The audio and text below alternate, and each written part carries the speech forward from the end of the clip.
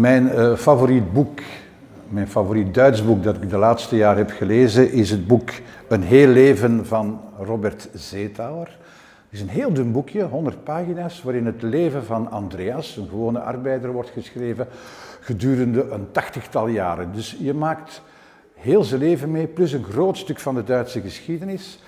En waarin duidelijk blijkt dat een mens al hinkend door het leven gaat, dus met veel vallen en opstaan, maar toch altijd overeind blijft, ondanks het nazisme, ondanks het feit dat hij laag geschoold is, ondanks het feit dat zijn geliefde overlijdt, ondanks het feit dat hij met grote verwondering kijkt naar de eerste televisiebeelden, naar de industrialisatie enzovoort. Het is een prachtig kleinoot over een heel leven.